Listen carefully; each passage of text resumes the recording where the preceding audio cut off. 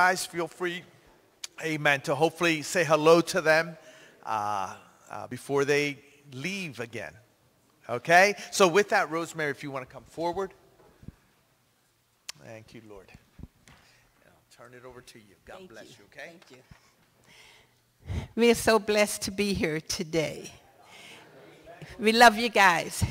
You're like family to us. And when we come, we're so happy to be here. And today, I just want to give God the glory for everything that we do in Honduras, and especially for my life. This August, I'll be 77 years old. I give God the praise and the glory for that. because I'm doing two jobs in Honduras, and I'm not retiring whatsoever. My youth is renewal like the eagle each and every day. and we start off, this is what we do in Honduras. Choluteca, we are in a small town called Choluteca. We've been there this October, we'll be going on 28 years. I praise God for that.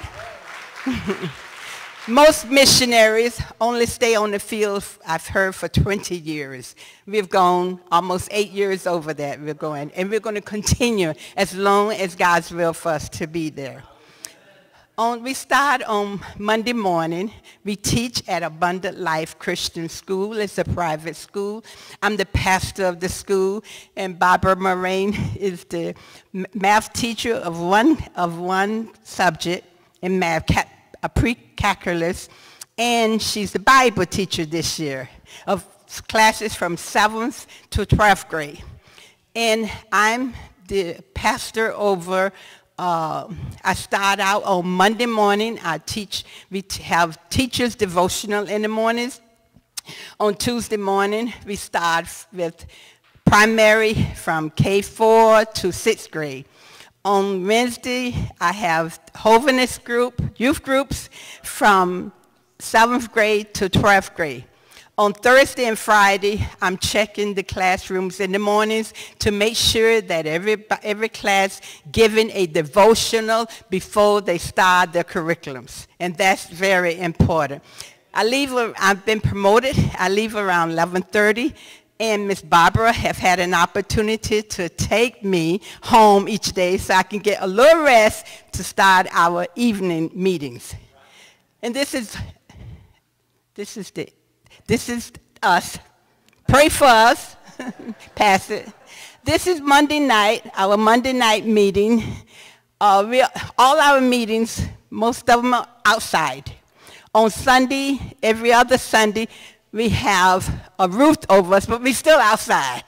And we have one church that the, the uh, sponsors from the United States built, so we should, I will show you that one. But there's only one inside that we are inside. We have six months of dry season, six months of rainy season. That's our winter. We have a summer and a winter. In our winter time, you will get wet. If you ever came to visit us during our meetings, you're going to get wet if you come between August to November. You're going to get wet. So we're preaching sometime, and I'm holding a mic, and it's lightning and thundering, but I know God is my provider, and I know I can trust in him. we have uh, celebrations on September the 10th, Children's Day.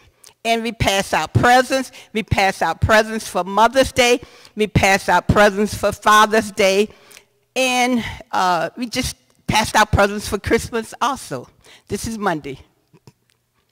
Tuesday night, Tuesday night meeting is at our director's house, and we live next door. You might not be able to see those walls, but beyond those walls are our house. Now, what we do at these meetings at nighttime, Barbara teach one week, and I teach the other week. We teach them the Word of God. We give them a Bible verse to memorize that night. We give them a treat if they memorize a Bible verse. During our holidays, we have celebrations. Our ministry team work out a program, dancing, puppet shows, uh, dramas, love everything, but they're in control of that, and we're blessed because they take control of that. Now on Monday night, we can have up to 300 to 350 people on a holiday. On a Tuesday night, we can have up to 400 people. We also feed these people. This is what you, your money, when you send it to Honduras, this is what we're doing with your money and other people's money. But we also, we don't trust in man, we're trusting in God. He's our provider. Amen. And he takes care of us. For 27 years, he have taken care of us. We feed them. Uh, we used to, when it was small groups, we would feed them dinners. But now we have grown to be big groups, so we cannot feed dinners. We give them a chicken sandwich. We give them a drink. We give them a fruit. We give them cookies, chips, and a, and a bomb lollipop. But this is what we try to do, and we give them a fruit. So it's like a bad lunch but it means so much to these kids in Honduras. You're talking about some days that they don't even have food. And when you come along and have a lunch bag for them, they're happy for that. And they're ready to eat it then, but they have to take it home to their family. And you're talking about not like a two or three in a family, but maybe eight or ten in a family. So this still hurts my heart. Pass it, please. This is Wednesday night. And, and this is, we have a pavilion like in the center of it, but we have people all around on Wednesday night. On a holiday, Children's Day, especially in September, the 10th of September, we can have 700, 800 people right here in this yard. And it's amazing. And what blessed me this year was when I sit at the, the gate sometime because everybody want to go through the, the, uh, to be in line for the food, and I love passing out the food line. But somebody else always want to pass out food. So when I'm not passing out food, I sit at the, the gate with them going out. And there was a mother, and there was a grandmother, and there was a little boy. And this little boy had, and I'm watching them, and this little boy, he was about four or five years old, and he had a sandwich in his hand.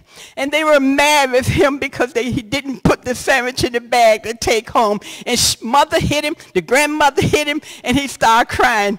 And I'm looking at this, and I ran over and got a sandwich, and I gave it to him. And I was hoping that they did not take that sandwich away from that little boy so he could hold. He was the happiest little boy that he was able to hold his sandwich. Pass it, please. This is still Wednesday night. A different section of Wednesday night. Pass.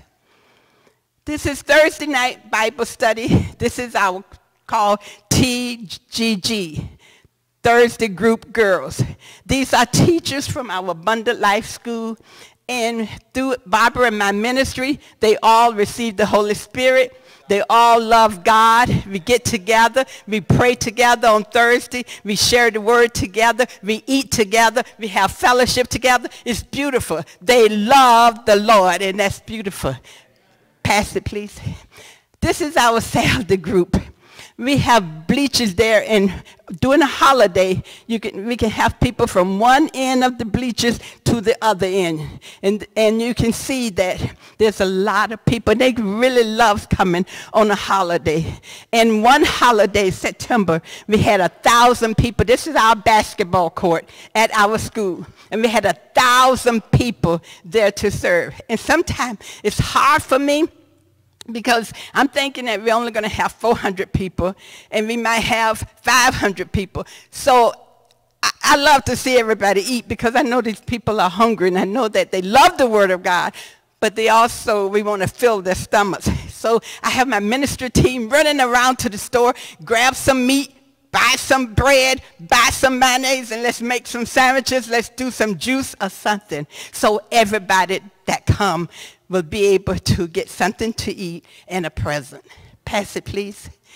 This is our Sunday, one of our Sunday meetings, St. Louis. This guy, we used to meet with him through the, on like on Friday, but on Sunday, he wasn't having that many people to his church. So he invited us to come to him to have services on Sunday so more people can come to his church. And it's been a blessing we've been able to put his roof on from the sponsors in the United States, and we've been able to um, he's going to, he, you can see half of it, a floor. It's all sand. And he's trying to cement the whole floor and before the rainy season. So we're just praying for that, that God will help us on that. San Luis, pass it please. This is Lemoyne, another place on Sunday. We can have, you can see the people there. Holidays, we can definitely have a thousand people. And I would never want to turn anybody away. So let them come in. My, our bodyguard, he always say, Miss, you want to stop? No, let them come in. Let, we, we, don't have to worry about problems with the, the government or uh, problems like you have here. We can pack them in in Honduras, and we pack them in. So I thank God for the people that come. Pass it, please. This is also Lemoyne Day Circuit. And this lady, her name is Marcellus. We love her. She's over 100 years old. And she's there by herself, but she gives you this biggest bear hug that you can receive. And she still have a memory because every time we come, she always tell me she want coffee. And she always tell Barbara, I want shampoo and lotion. But she's, she's so beautiful. We love this lady. Pass it, please. This is our car. Her name is Compassion. She's 17 years. And she in good condition. We had a paint job on her. And I, we've been blessed. Last Sunday, I was sharing about the transportation. I had been praying for transportation. In the rainy season, we have the back full with people and they get wet. And they come to the meetings all soaking wet and they don't, do not complain. No grumble. They just continue to sing, worship God, busy. And I want something to cover them that they don't have to be wet. They're with us every night. They're faithful, our ministry team. And this guy heard me last year, and I've been praying for years for this. And last Sunday, after church, this guy came up to us and said, we want to buy you a van.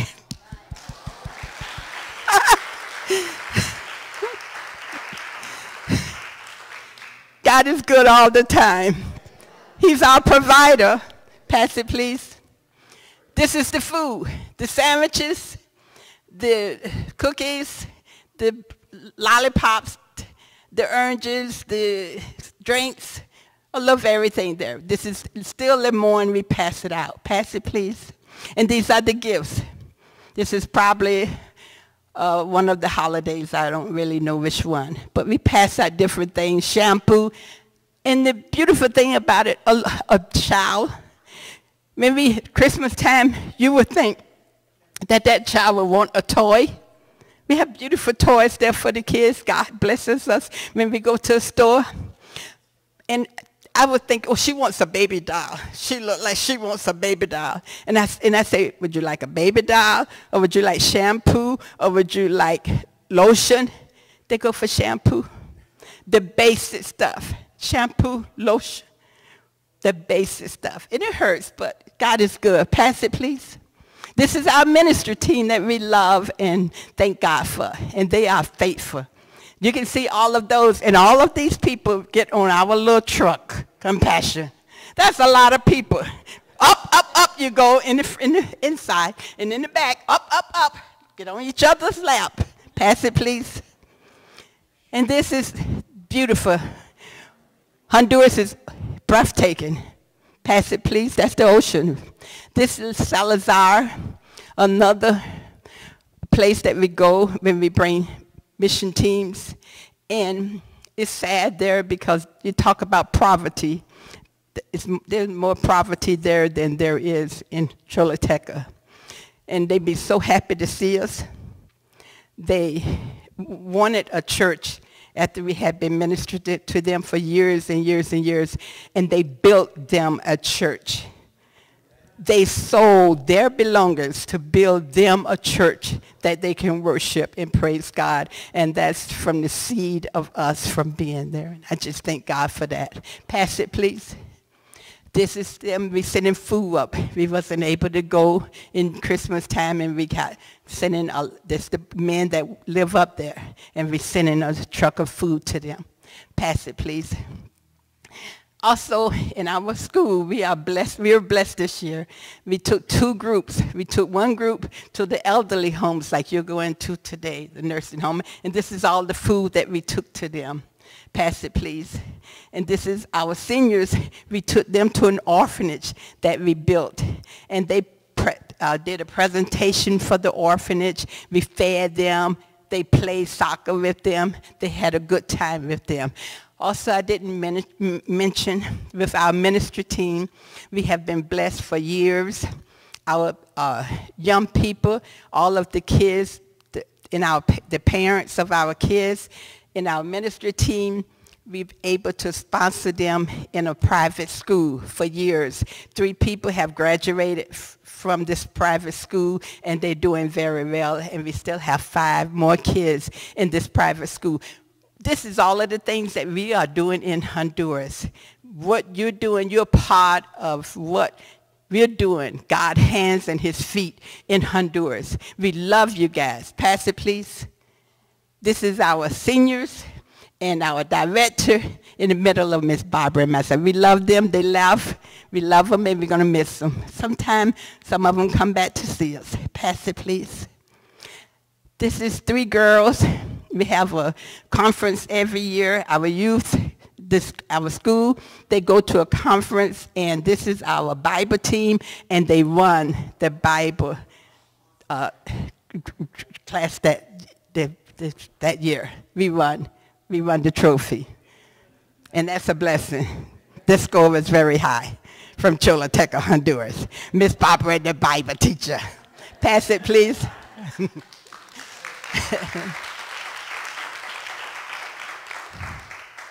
This is mangoes.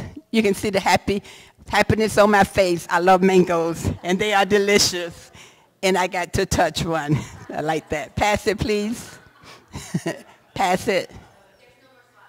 That's number five. And we just want to thank you for your love and your giving and your prayers. God bless you, and we love you more and more and more and more. In Jesus' name.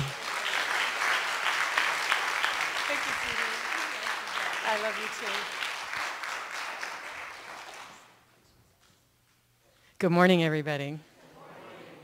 How are you this morning? It is beautiful here in the summertime, isn't it? Nice and cool. You're probably thinking it's warm outside, but nice and cool.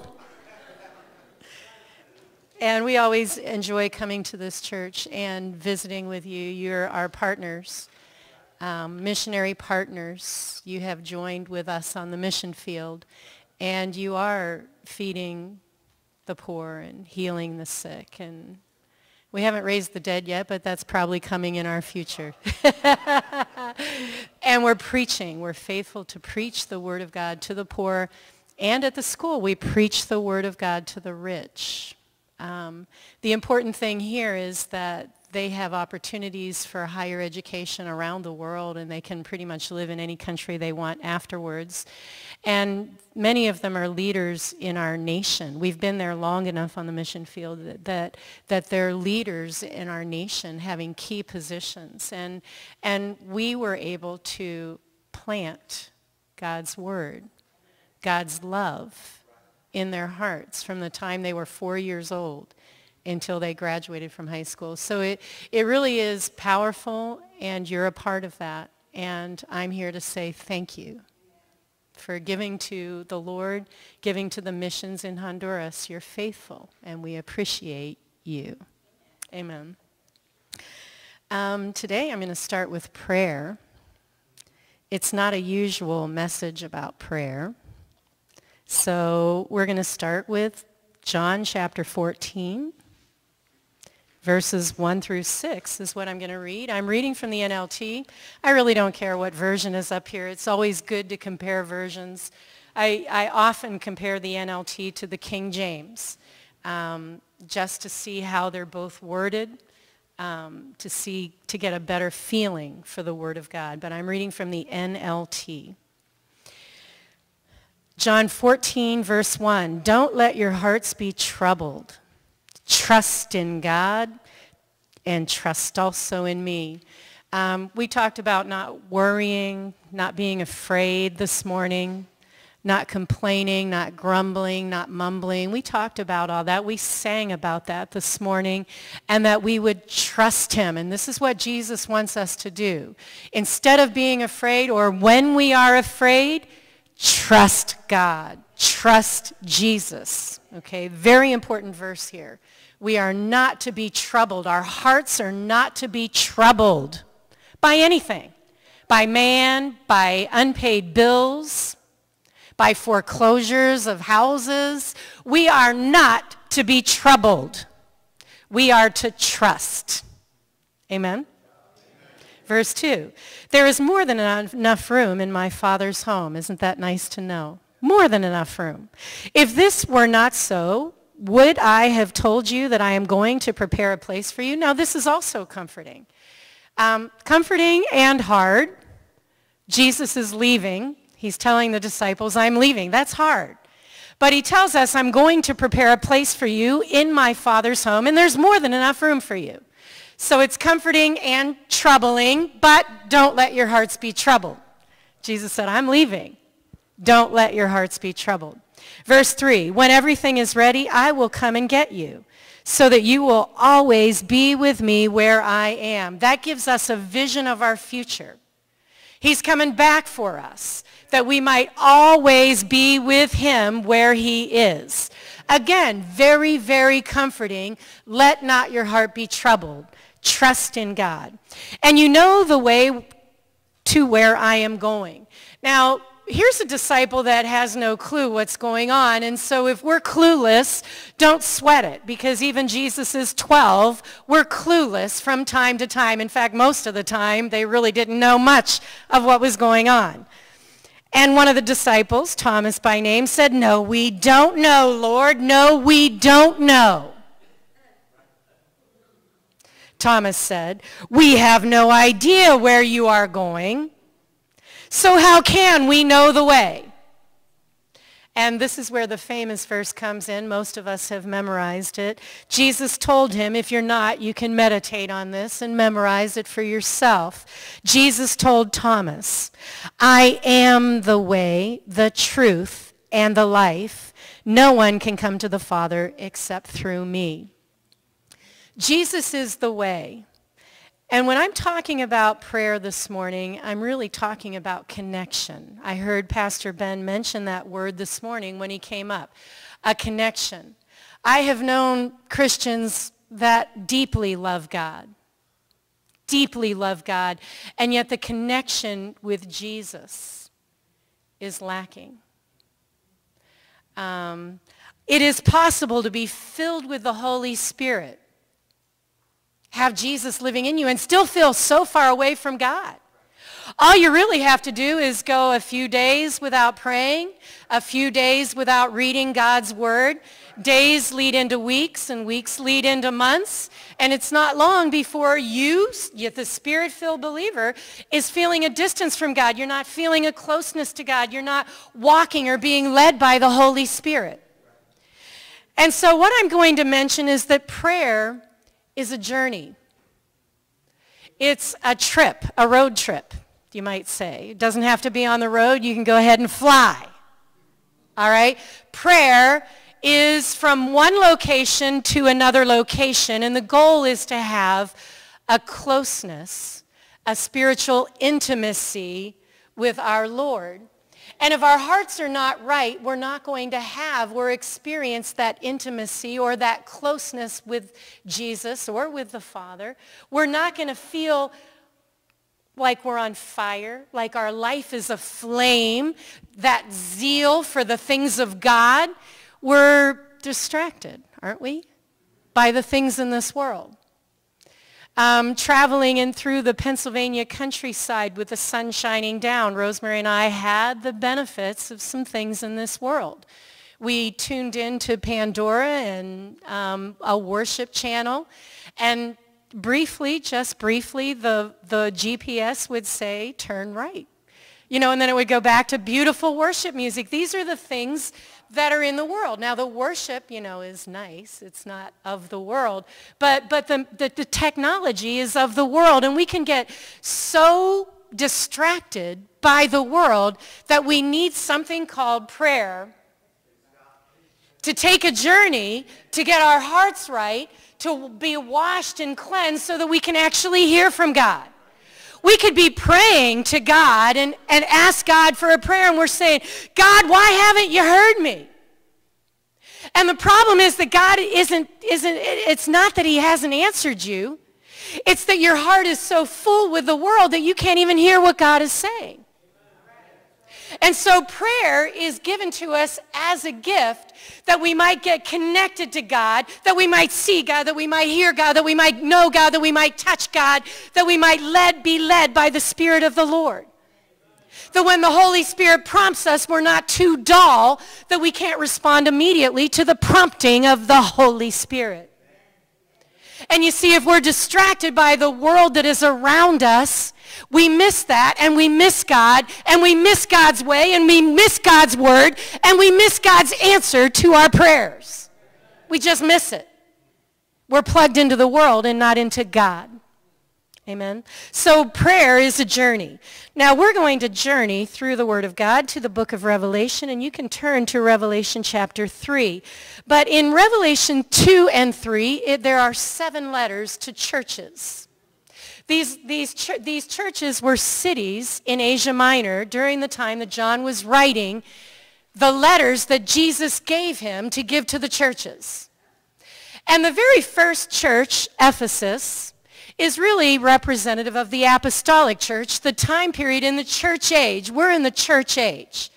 The church age is between the death of Jesus and his return again, which is in our future. This is called the church age. And prophetically speaking, these letters represent the church age, where we are right now. And the very first letter was when the apostles were alive. Now, after the apostles died, all of them, including John, the book of Ephesus is still in the church age, and he, Jesus, had this complaint about the church. You don't love me or each other as you did at first. This is in Revelation 2, 4. They lost their first love, and this was in the very first and second centuries. It wasn't far after Jesus had risen from the dead. And the apostles, you know, had, had spoken and left a very recent testimony. And yet still, they had left their first love, and they didn't love God like when they first got saved. Or like when the first, when the church was first born, they didn't love him like that. The fire wasn't there. The intensity wasn't there.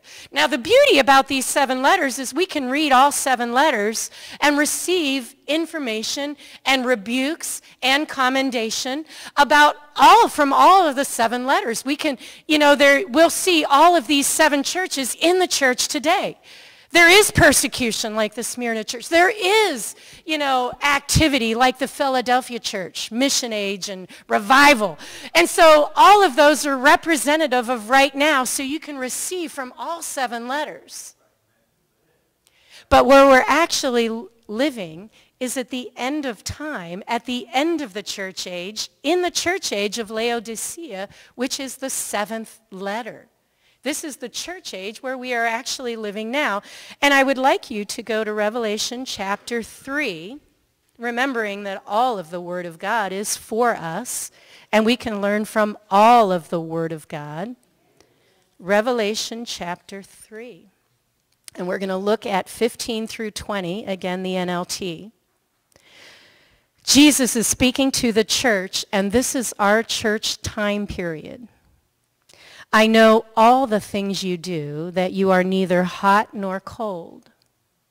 Now, it's not, he, even in this letter, we can see that not everybody it falls under this category. There are people on fire. There are people pursuing God, seeking God, desiring the presence of the Lord and to be covered by the Lord. But generally speaking, this is for the last letter. This is the last letter, the last church part of the church age. You are neither hot nor cold. I wish that you were one or the other. But since you are like lukewarm water, neither hot nor cold, I will spit you out of my mouth. You see, many times we are just focused on our own general comfort. Getting a nice home and being comfortable in that home. And our, our mind is really on our quality of life, our state of life on this earth, and we're not centered around the kingdom of the living God. In many cases, this is a true statement. We are not on fire for the living God. We're not. We are more interested in God blessing our general life right here and God providing for us while we're on this earth right here. And all we're concerned about is here and now.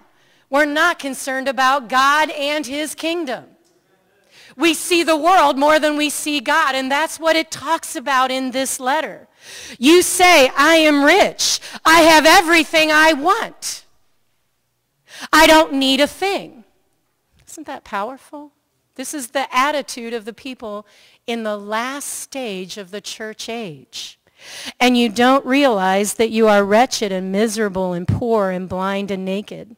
So I advise you to buy gold from me, gold that has been purified by fire, then you will be rich. Also buy white garments from me so you will not be shamed by your nakedness. And ointment for your eyes so you will be able to see. I correct and discipline everyone I love, so be diligent and turn from your indifference. Turn from your indifference. God is committed to working in you. Um, Ephesians chapter 2. We are his workmanship. God is committed to working in you. The Holy Spirit will prompt us. Oftentimes he gets our attention through our family members or close friends. Someone, you'll just annoy someone and then you'll annoy someone else in the same way. And you'll annoy someone else in the same way, and they'll call you out on that. And the Holy Spirit will come up to you and say, you don't have to be that way. You're allowed to change. You don't have to be that way. You don't have to be like you. You don't have to do it your way. You can do it like me. You can look like me, Jesus says. You can strive to do it my way, not your way. And so we don't have to have our husbands or our, our wives accept us the way we are. You turn to your husband and say, that's the way I am. Get used to it. No. Let the Holy Ghost come beside you and respond to the prompting of the Holy Ghost and be more like him. You don't have to be like you. You can be like him. You don't have to hold on to you. You don't have to hold on to your convictions. You can be like him. It's better. It's a better way. And let the Holy Ghost discipline you. If you get angry, let the Holy Ghost calm you. If you're bitter, let the Holy Ghost forgive you. If you're angry, let the Holy Ghost Take it away. Give it to the Lord. You don't have to be sad. You don't have to be miserable. You don't have to be complaining. You can give it to the Lord and you can yield to the Lord. He is committed, committed to making something beautiful out of your life.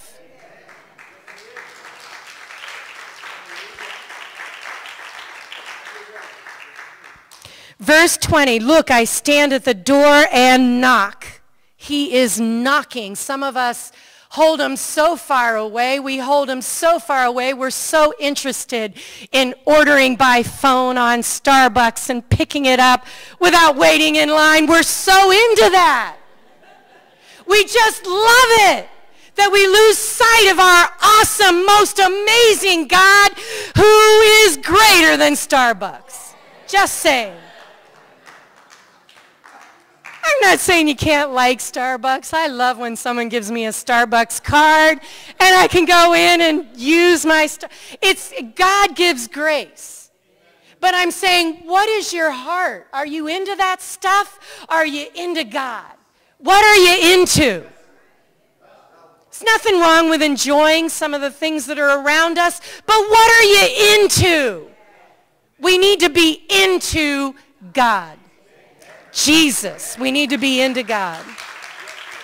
And it's a journey. Be diligent and turn from your indifference. This is why it takes time to attain intimacy. It takes time to get close, personal relationship with God. It takes time because our hearts are not ready. Jesus gave a parable in which there are four states of the human heart, some of which is hard, shallow, thorny, and then good soil. And it is our job to cultivate our heart. It is our job, our job, not God's job. It is our job to turn our hearts over to God's hands. It is our job to pursue God and to seek after God. That's our job. It is our God job to pray that God would create a clean heart, that we might hear him, that we might see him. him. It is our job to turn to the living God. It's a journey to intimacy. There are things that trip us up. There are things that hinder us. There are things that block us from God's presence. There are things that bring darkness into our lives, and I want to give you advice today that if there is anything dark in your life, that you would shut that door, whether it's a TV show or a book, a video game, any a person. If there is any opening to darkness in your life, that you would shut that door. Attitudes that, that are stinking, thoughts that are not becoming of God. I have stopped competition. I used to be very competitive. I'm an, I, I used to say I am athletic. Now I say I am a Christian. But I have long since turned away from any competition. We get into Bible competitions, and I want uh, our school wants to be honored among all the Abundant Life schools. There's eight schools now, and we compete every year.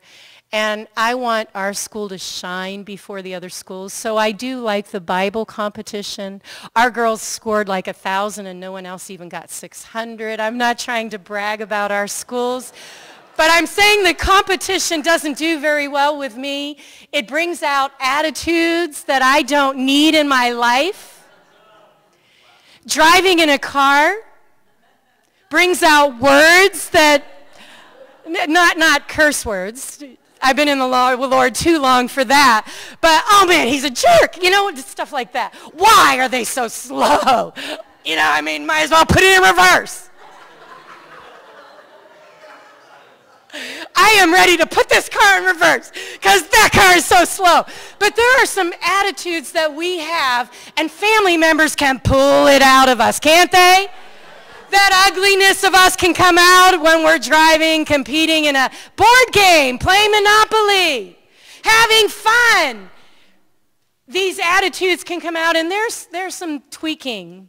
God wants to bring his paintbrush, make some changes, redirect. You GPS, redirect. You get on the wrong road, you get off track. I have a Bible devotional and, and you read it and it says on track. But if you miss a day or two, it says one missed day, two missed days, three missed days. How far are you going to go? Four missed days, and you say, okay, I'm finally going to get caught up. And then it says on track. And that's what we need to do with our heart. Guard your heart, for out of your heart comes the issues of your life. Guard your heart.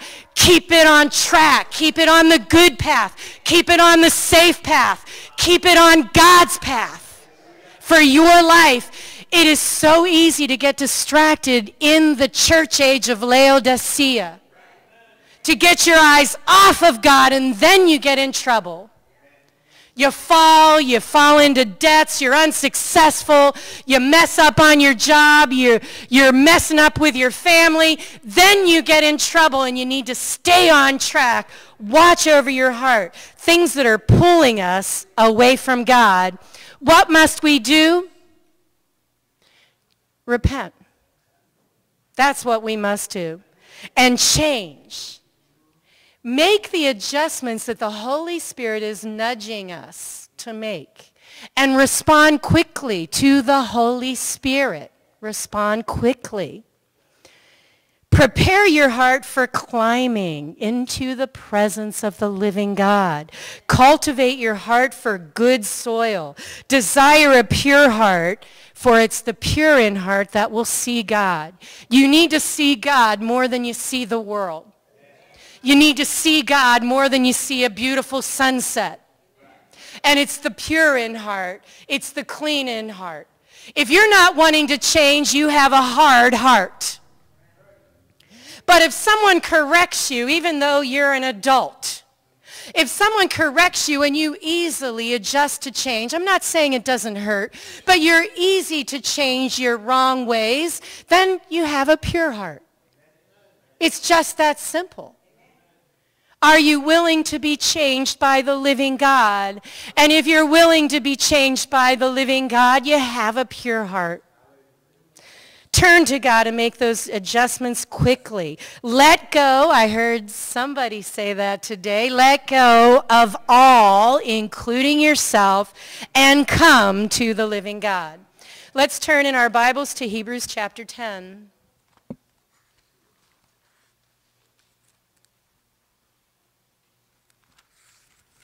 Hebrews chapter 10. And we are going to start reading at verse 10.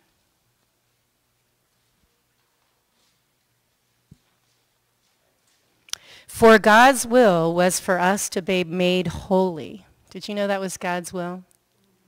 For us to be made holy. Us impure, evil. You know, you could have evil within you. Did you know that? You can have evil around you. It's called the world.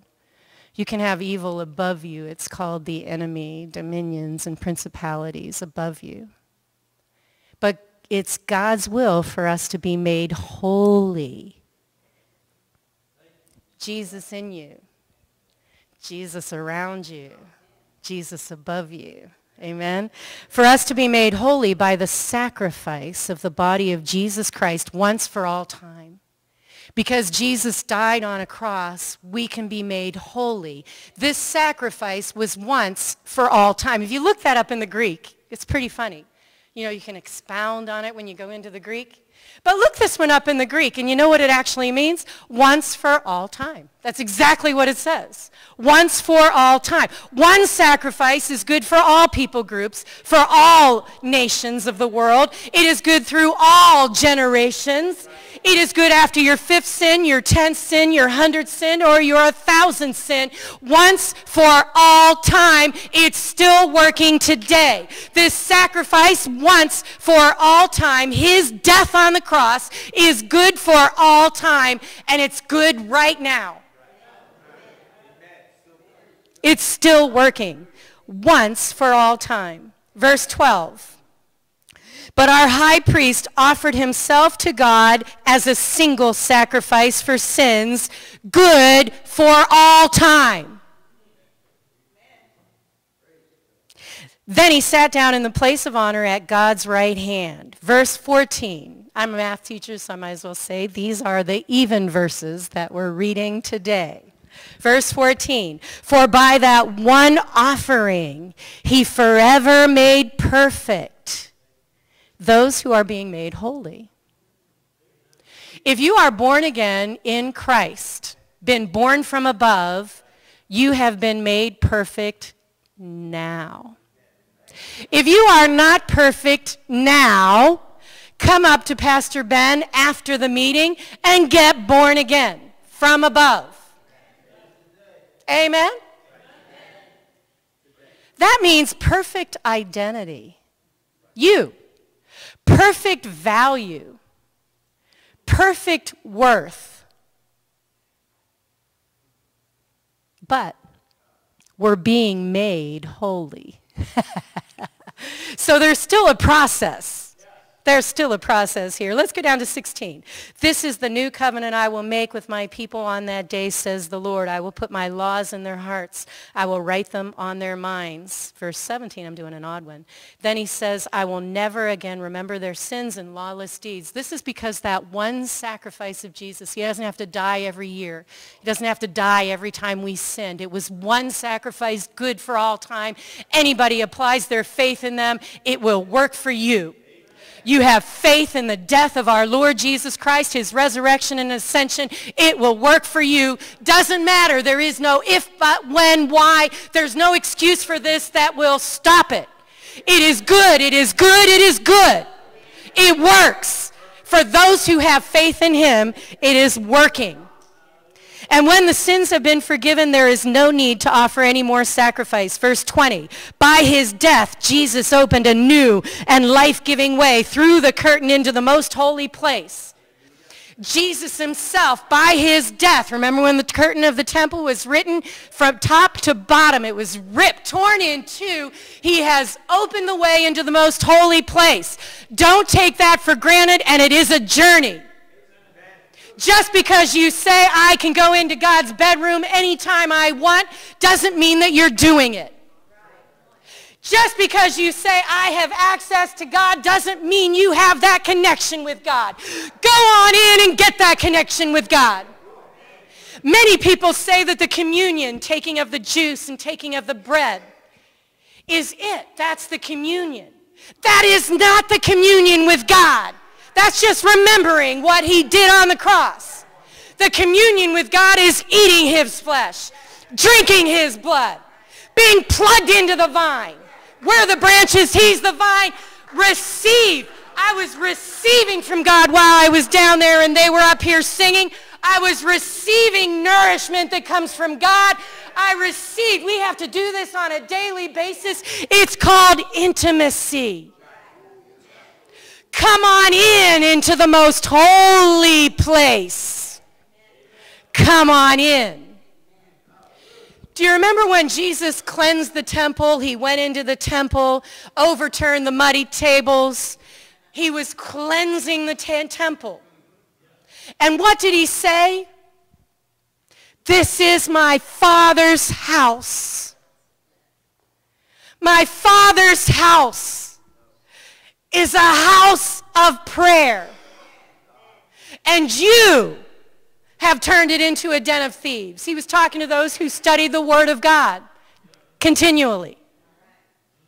You have turned it into a den of thieves, but my Father's house is a house of prayer. Is there a temple today, yes or no?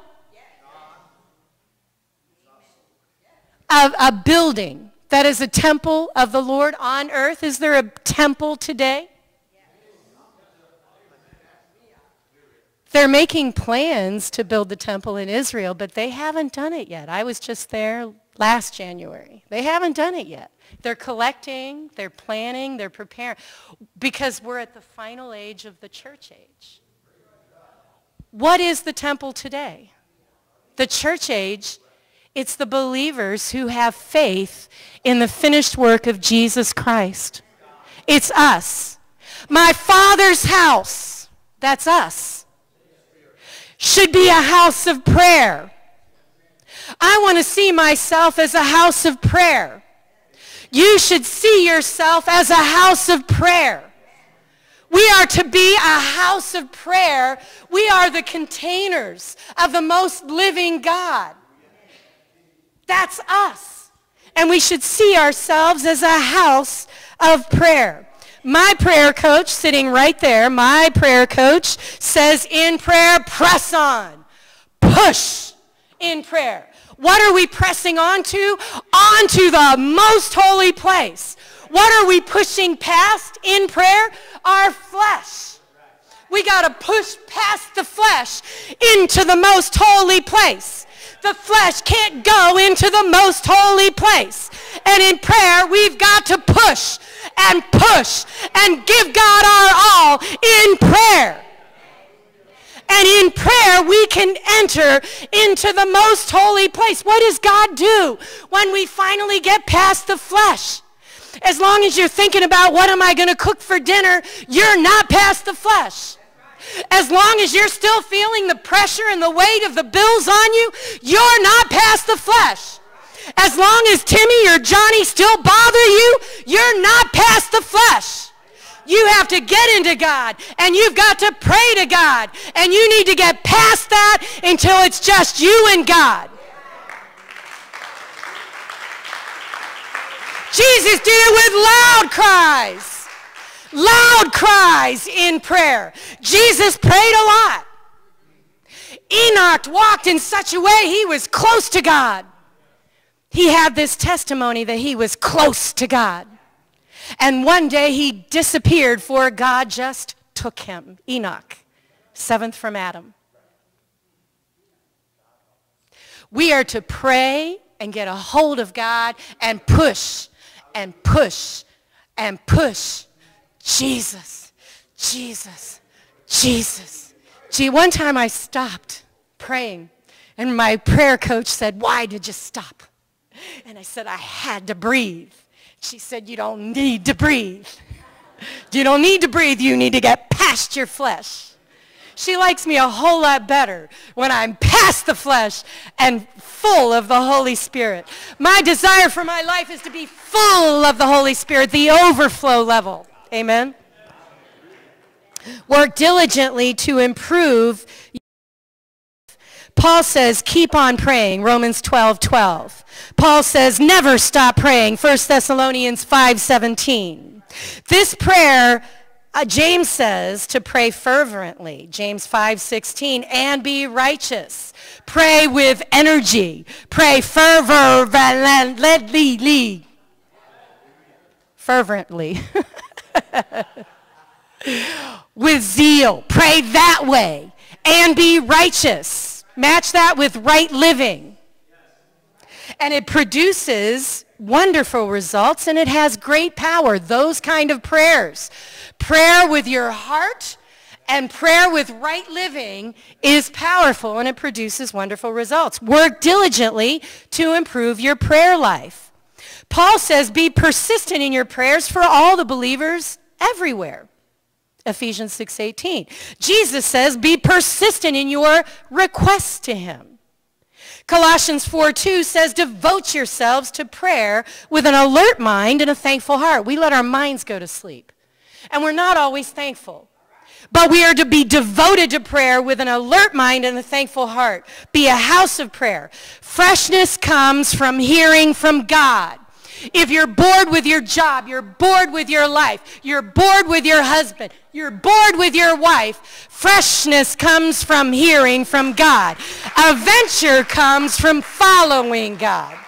Pray out loud. Shout it out. Praise, worship, songs. Give yourself to God. Lay down your life in prayer. Lay down your life. Give your life to God in prayer. Allow yourself to be changed into his glorious image. Pray in the Spirit. I'm just going to finish with these lists. There was a guy that lived from 1555 to 1626. His name was Lancelot Andrewes, and I'm just going to share two lists that came from his private devotionals concerning prayer. Times of prayer, and I'm closing. Times of prayer, always, without ceasing, at all times, three times a day. In the morning, a great while before day. At daybreak, the third hour of the day, about the sixth hour of the day, the hour of prayer, the ninth hour, the evening, by night, at midnight. That was in his prayer journal. Another thing in his prayer journal was this, places of prayer. Where do you pray?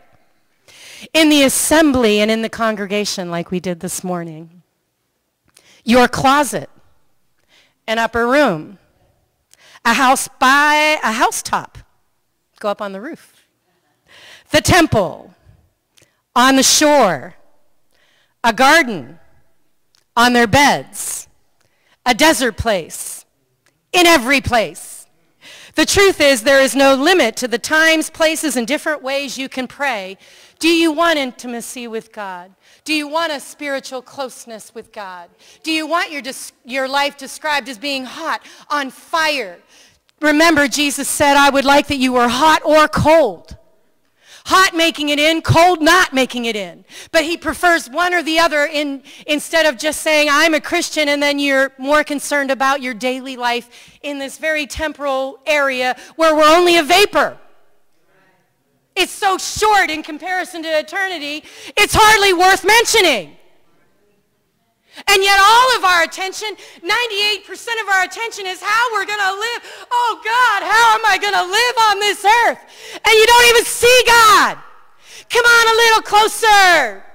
Push on a little further. Drop off a little bit of that flesh. Drop it off. Rosemary says, be light on your feet. Be light on your feet. Not, not like that. Be light on your feet. Press into God push into God, get to know him, come up, a, you will enjoy your life. Come up against the presence of the living God. And then shine. God bless you.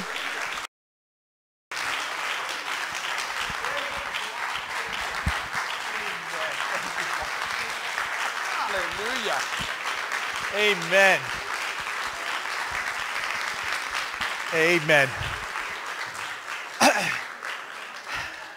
Folks, we ha- we've been schooled. Today we have been schooled. I can see a little bit of the gym teacher coming out of you.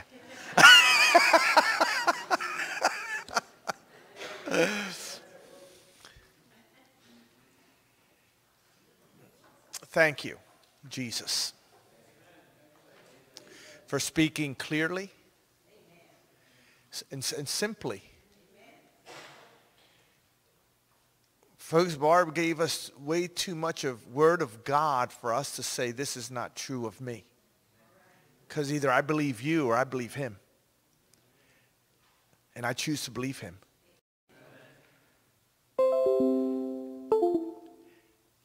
Folks, so much is depending on us believing that this is God's will for us. Amen. We are perfect in his sight now.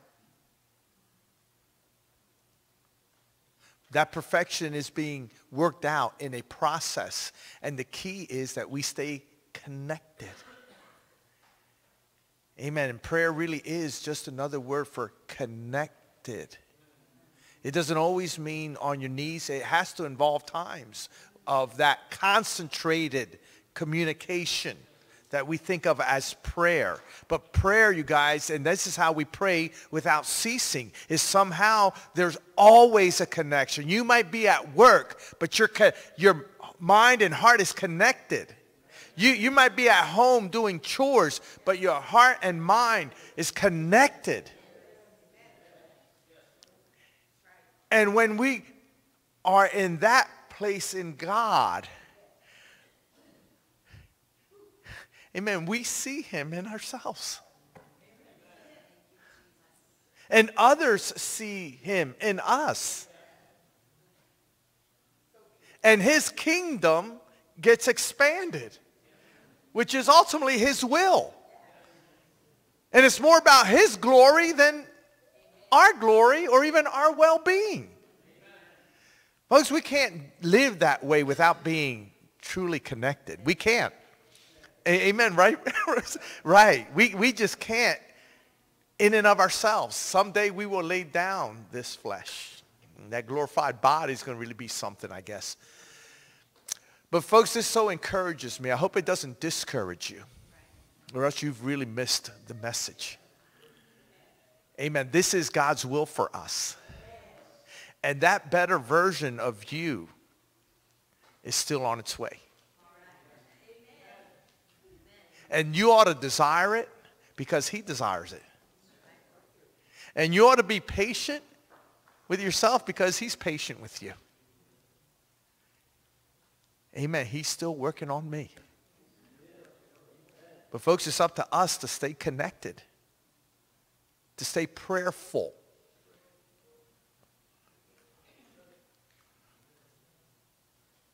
Hallelujah. Folks, all of that, though, depends on being plugged into the vine in the first place.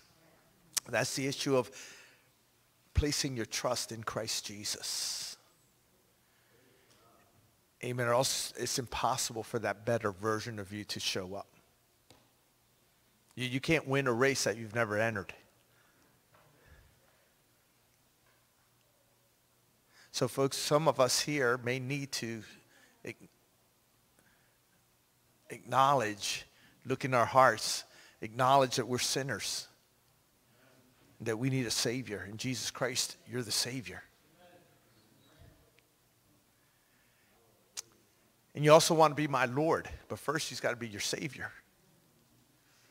Then he's willing to lead you, but first he's got to be the Savior.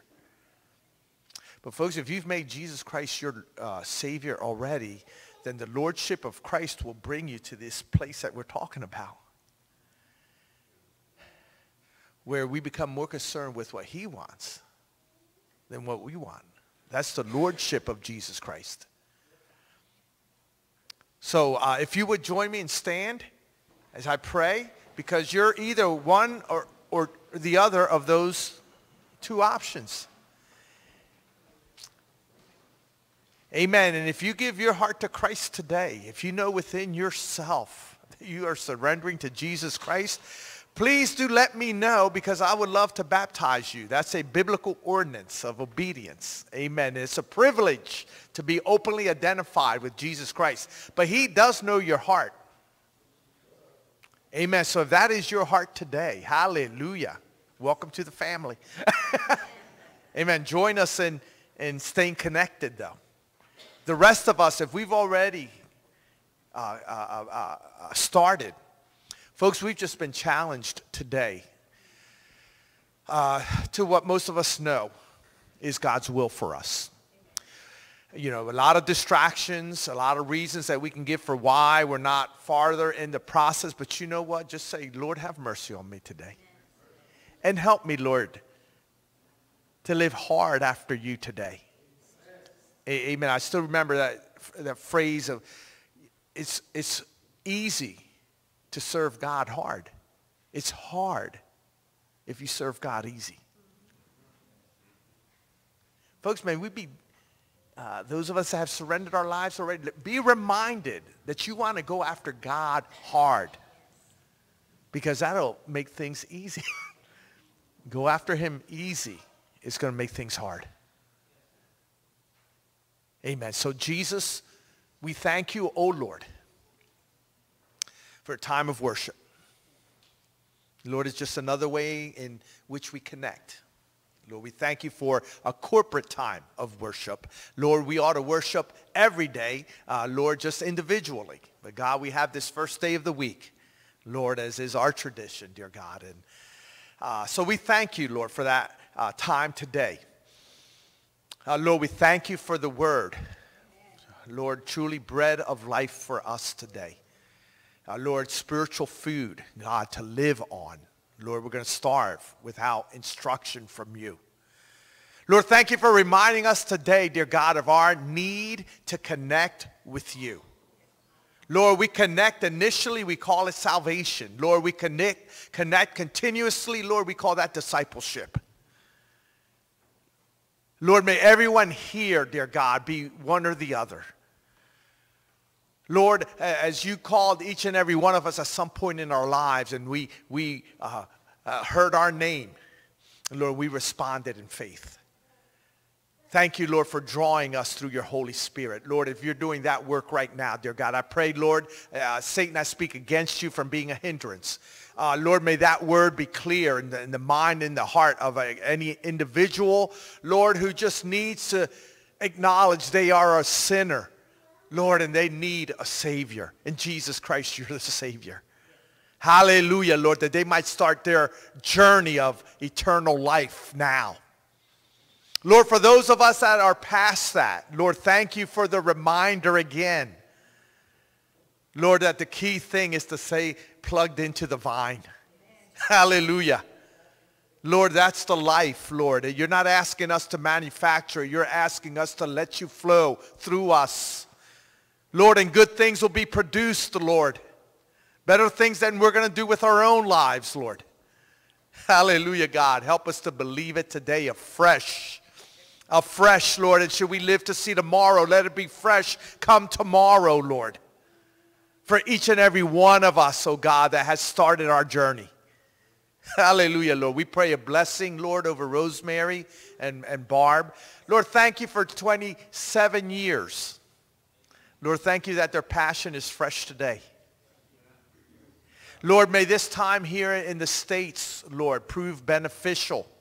Lord, as they return, dear God, to the field that, uh, where you have placed them, oh Lord. We thank you, dear God, to be connected to them, Lord, in ministry.